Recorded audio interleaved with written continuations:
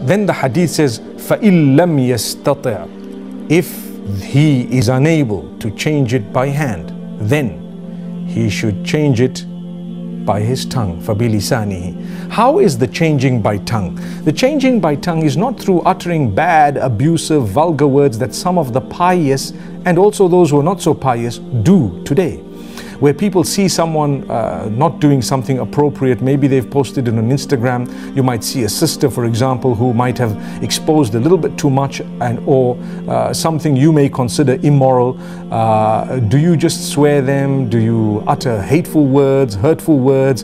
No, you're making the matter worse. Think about it carefully. You have to utter words that make the truth according to you manifest in a very respectful way. Your intention is to change the evil, not to cause more evil. A lot of people falter here as well. You have people who start refuting others and swearing them, belittling them, calling them very bad names. Don't do that. You're actually engaging in an evil in order to get rid of another evil. That doesn't help.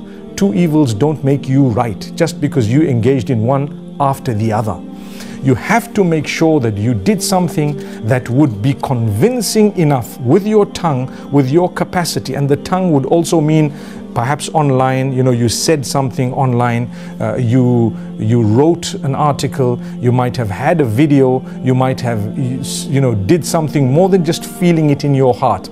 The first level was to physically change.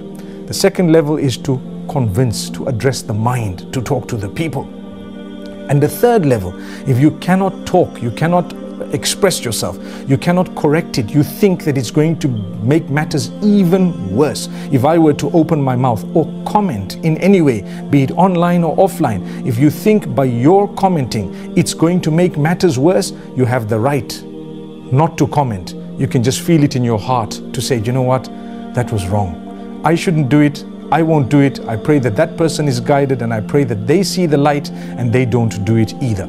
So this is something very interesting and very important because many people are falling in this regard today.